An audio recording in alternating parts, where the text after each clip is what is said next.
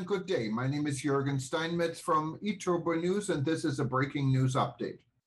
For more news updates and shows, please go to youtube.com slash travel news group.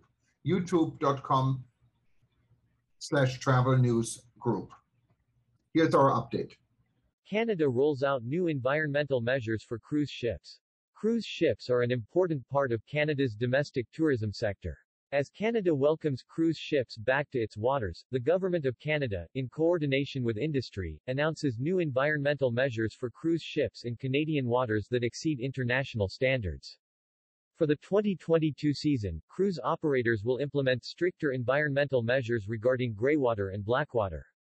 Greywater is defined as the drainage from sinks, laundry machines, bathtubs, shower stalls, or dishwashers and blackwater is defined as the wastewater from bathroom and toilets.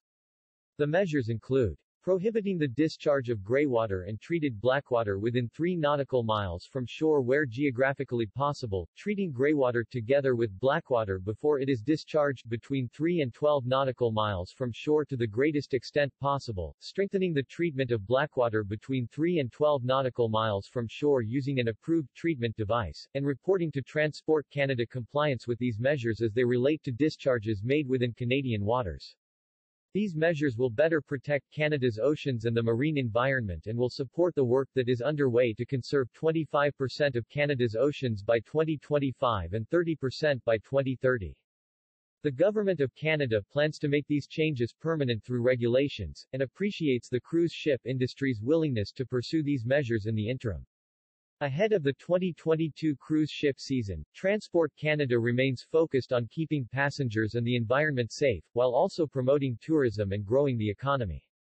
Cruise ships are an important part of our economy and tourism sector, and as Canada prepares to welcome them back to our waters this month, we are committed to working with our industry partners to implement these new measures to ensure their return is safer and cleaner for our environment, said the Honorable Omar Alghabra, Minister of Transport.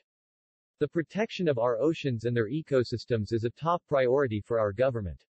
With these new measures to address cruise ship pollution, this important part of our tourism sector can now chart a cleaner course through Canada's spectacular coastal waters, said the Honourable Joyce Murray, Minister of Fisheries, Oceans and the Canadian Coast Guard.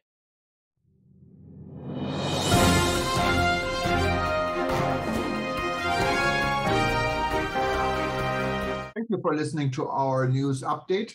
There's more on youtube.com slash travel news group, or you can read us, of course, in going to our news portal at eturbonews.com or travelnews.online.